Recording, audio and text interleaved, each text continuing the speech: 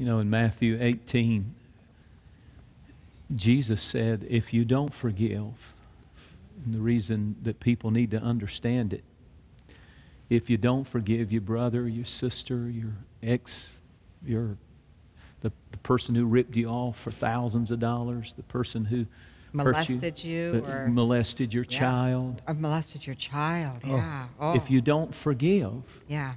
There's only one option. You either you, you have two choices when you get offended, and you will get offended. Nobody escapes it. It's going to happen. Right. You either obey the word and forgive. And sometimes that means you you separate the act from the person. Mm-hmm. If somebody when, when you forgive, you're not saying it's okay what you did. Right. The act was wrong. The act could have been evil. The act could have been demonic. Mm-hmm. But you, keep, you can keep that act in a prison because it's wrong. But you have to release the person and see the person as someone who, just like God sees you, Yeah. he, he, re, he releases you from the act and then he sees you and you forgive them.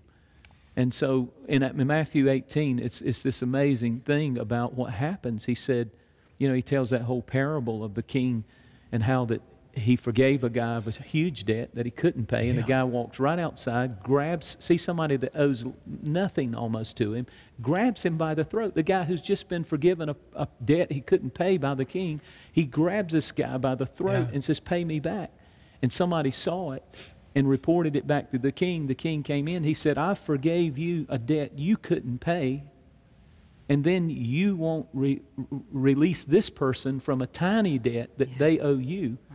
And then this powerful verse, he says, Turn him over to the torturers. Turn him over to the tormentors Yes. which the Lord spoke to my heart and said, The only option that you have when you have been deeply offended is to obey and forgive, or not obey and be turned over to the torturers. Well, what are the torturers? Emotional torment, Yes. Oh my. physical torment, and spiritual torment. Every person needs to understand if you're under emotional, emotional torment, mm-hmm. physical torment sometimes can be rooted and grounded in bitterness and unforgiveness. Mm-hmm. It's amazing to me. This is so important Yeah.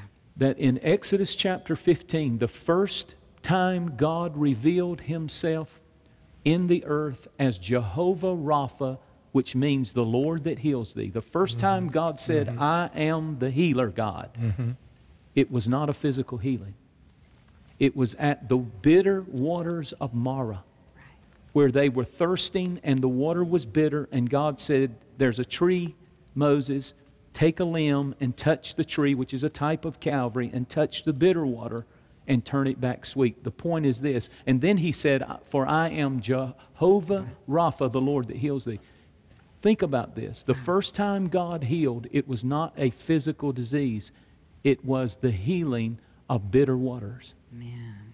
that, that he turned bitterness into sweetness. Maybe the reason that some people, not always, but some people who are, n- are not being healed is because they have bitter waters. Yes. Yes.